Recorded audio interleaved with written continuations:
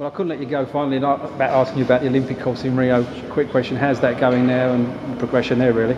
Yeah, I think it's, it's, it's coming along. I mean, it's slow but steady. You know, there's no secret that we, we wish it had gone faster. I think everybody on the golf end uh, knows that we could have built this course faster, but just because a lot of reasons we're not. But you know, we're obviously going to be ready in plenty of time for the Olympics. I'm thrilled with, with what we're building. Very excited about the way it's taking shape. We should have plenty of time to lavish details and get those right.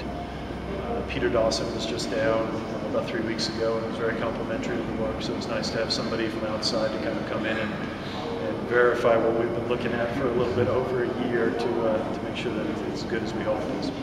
Okay. Well, thanks again and good luck with the rest of the project. My pleasure. Thank you.